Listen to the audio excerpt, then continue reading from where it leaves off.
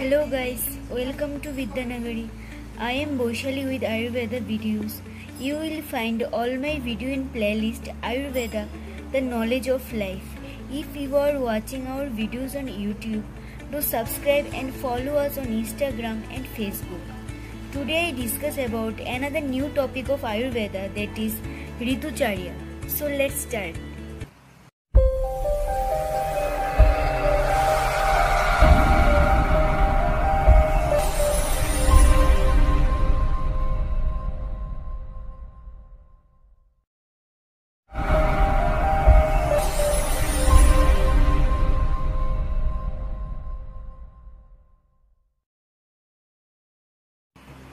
Ritucharya is the old Ayurvedic practice and is consists of two words that is Ritu and Charya.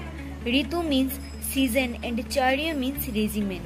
If one follow the regimens prescribed under each and every Ritu, such person is never inflicted with seasonal disorders and he always remains as a healthy person.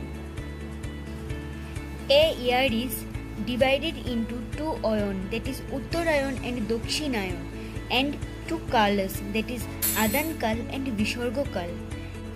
Every Kal and ayon consists of three seasons which gives a ultimately of six seasons in a year. Relation between Ritu and Bolo The strength of human being is maximum in Hemanta Ritu and Shishi Ritu moderate in Basanta and Sharat and it is worse in Grishma Ritu and Barsha Ritu. Now I will broadly discuss of each Ritus. Number 1 is Shishi Ritu. During this season, cold is severe and dryness more, being the effect of Adan Kal.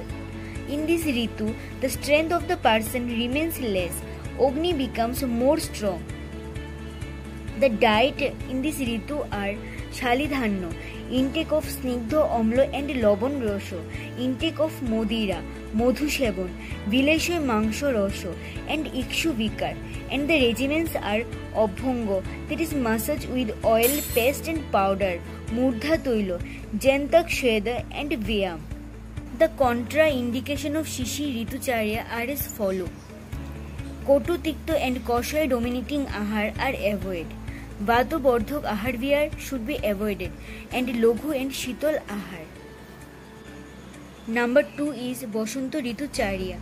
Kapha, which has undergone increase in Shishi Ritu, becomes liquefied by the heat of the sun in Basanta, diminishes the Agni and give rise to many disorders. Hence, Kapha should be controlled quickly. The diets of Basanta Ritu are as follow. Yavo Godhum Bhojan, intake of Shidhu and Madhvik, intake of Modhu. Food items tasting Kotu, Tikto and Koshayo should be eaten. The regimens are Vyam, Udvartan, Dhumpano and Kabal Groho. Chorok has advised to use lukewarm water for Shoucha Karma. The contraindication of Basanta Ritu are Guru Ahar, excessive intake of অম্ল শীত and মধুর রস month should be avoided number three is Grishma Ritu in Grishma Ritu the sun rays become powerful and appear to be destructive কফও decreases day by day and বাতু increases consequently the diets of Grishma Ritu are is follow intake of মধুর শীতল and দ্রব আহার intake of শর্করা and month intake of jungle poshu pokshi and mangsho rosho and last one is ঘৃতপান the regiments of grishmo ritu are as follow diba shopno pravat and dharagriho the contraindication of grishmo ritu are excessive intake of লবণ অম্ল কটু and উষ্ণ আহার excessive intake of মদ্য and vyam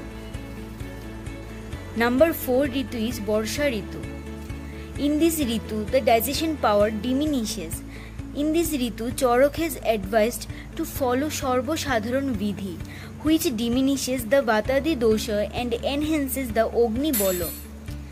The diet of Varsha Ritu are is follow intake of job, গোধুম and শালি ধান্য intake of jungle, মাংস, রস and use intake of Madhu and Mahendra জল। The regiments are local application of চন্দন, কর্পূর etcetera on body udvartan, and wearing of garlands. The contraindication of Basanta Ritu are উদ্মন্থ দিবাস্বপ্ন নদী জল অবশ্যই and আতপ সেবন। Number five is Sharad Ritu. In this ritu pitta gets aggravated hence পিত্ত সামক চিকিৎসা সাচ এস বিরেচন রক্তমোক্ষণ অ্যান্ড তিক্ত সর্পে পানা is advised in this ritu. The diets of Sharad ritucharya are intake of মধুর, লঘু, শীত অ্যান্ড তিক্ত আহার। ইনটেক অফ শালিধান্য, জব অ্যান্ড গোধূ। ইনটেক অফ লাবক, কপিঞ্জল, মাংস, রস।